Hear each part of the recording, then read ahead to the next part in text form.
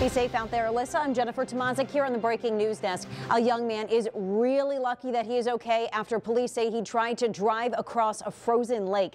Take a look at this video here from North Park. The back part of that SUV, look how it's leaning there, actually broke through the ice and he got stuck. And Allegheny County Police just sent me an update in the last 10 minutes and said that it was a 23 year old man, not a teen, who tried to drive across the lake. He apparently was able to get out okay. Police say he was not hurt. But that SUV is still stuck out on North Park Lake right now. Firefighters trying to figure out how to get it out, but they say it will be easier to do once the sun comes up. So we'll continue to try to follow that, see if we can be out there when they're trying to pull this SUV from the frozen lake.